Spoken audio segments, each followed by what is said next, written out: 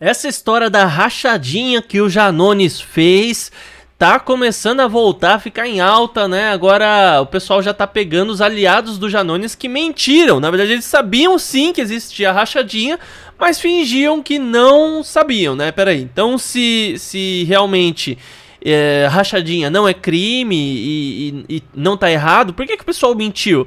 É realmente bem interessante essa história. Vamos comentar sobre isso. Meu nome é Marcos Eduardo, sou pré-candidato a vereador pela cidade de São Paulo e eu te convido a se inscrever nesse canal, ativar o sino das notificações e deixa um like nesse vídeo, assim você ajuda bastante. Então vamos lá, né? Uh, o Janones, ele foi pego fazendo rachadinha, tá? Então durante muito tempo nós vimos ele é, criticando o Bolsonaro. Bolsonaro faz rachadinha, Bolsonaro faz rachadinha, não sei o que, não sei o que, não sei o que. Ele apresentou alguma prova? Não. Ele mostrou algum indício disso? Não. Ele só falava e pronto e acabou, né? só que daí, como o mundo dá voltas, né? Pelo menos, será que o sistema solar dá, dá volta em, em torno da Terra ou a Terra dá volta em torno do sistema solar? Né? Enfim, vamos usar a expressão aqui, como o mundo dá voltas. Porque quem diria? O próprio Janones que criticava rachadinha era um rachador? Será que é assim que a gente fala? Será que é um termo correto falar assim? Mas enfim. E daí vazaram áudios, né, dele realmente falando, ó, oh, eu gastei muito com a minha campanha, então eu vou pagar um salário maior para você e você vai me devolver parte desse salário. Eu já conversei com o fulano, vou falar com o Beltrano também para fazer isso, enfim.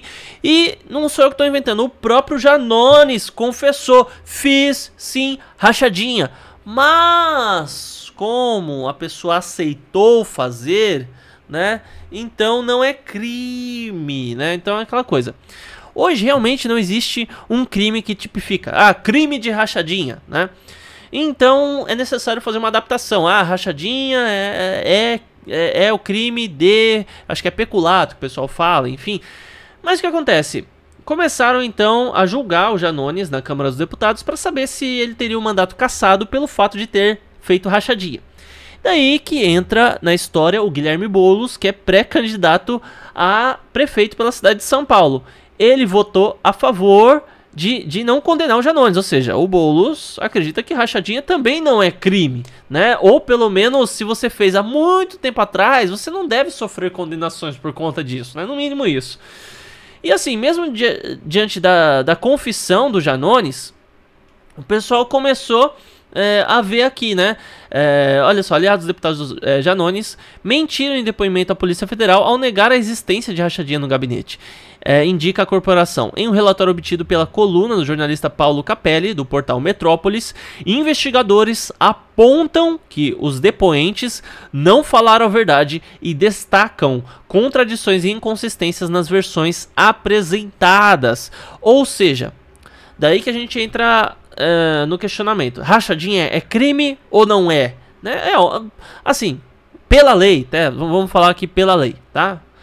Um, nem tudo que é ético é defendido pela lei, embora tem muita gente que acredita que a lei representa a ética, tá? Então assim, é, eu não acredito que seja certo você fazer rachadinha, não acredito.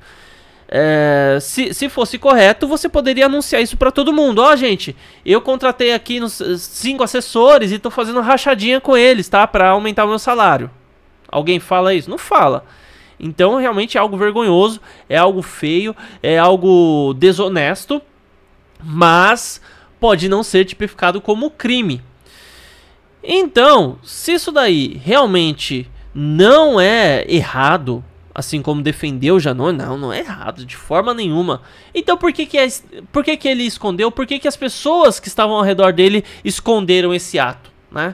Essa que é a grande questão. É porque o pessoal realmente sabe que é errado. Todo mundo sabe. Só que existe uma diferença muito grande aqui no Brasil entre julgar a direita e julgar a esquerda. Você tem um exemplo quando teve a invasão é, em 2013 pelo pessoal da esquerda, que eles pegaram um coquetel Molotov, tacaram lá no, no, no, no prédio do Congresso, tinha gente dentro e tudo, e você não viu gente presa. Agora, quando teve o pessoal do 8 de janeiro, que tinham pessoas desarmadas, inclusive vários idosos e pessoas com comorbidades, entraram lá, quebraram umas coisas, né? Aí é 14 anos de prisão, 17 anos de prisão. É, realmente eu penso que as pessoas que invadiram tem que pagar, né? Pô, um, um, relógio lá da época de Dom Pedro não tem nem, nem preço, cara. Não, então, assim, é um absurdo. Então, o que que faz? Quem tiver imagem de gente que quebrou, né? As imagens das pessoas quebrando, é, deteriorando as coisas, ou se quer entrando no prédio, que paguem multa, que sejam presas, que tenham aí é, é, pagar por danos ao patrimônio público e pagar o, aquilo que, que quebrou, né? Faz sentido que isso aconteça. Mas agora, dizer que foi uma tentativa de abolição do Estado Democrático, uma, uma tentativa violenta de abolição do Estado Democrático de Direito, é uma aberração jurídica isso daí. Crime em grupo, porque o grupo, em sua grande parte, invadiu o prédio, então todo mundo que estava ali, mesmo quem não invadiu, tecnicamente cometeu crime. Né? Então, assim, existe algo chamado impossibilidade de realizar o crime. Então, se o crime não. Se não tinha como tomar o governo do Brasil, invadindo um prédio vazio, estando desarmado, inclusive com pessoas idosas e doentes no meio do grupo então não tem como ser uma tentativa de crime se não havia essa possibilidade, né? Mas quando é para julgar o pessoal da direita, é 14 anos de prisão. Quando é para julgar o Janones, que fez rachadinha, o que acontece? Tá inocentado, tá arquivado o processo. Não teve nem sequer cassação, nem multa, nem que devolve, nem, nem devolveu o dinheiro que ele pegou através da rachadinha. É assim que funciona o Brasil. Então é isso, pessoal. Muito obrigado e até mais.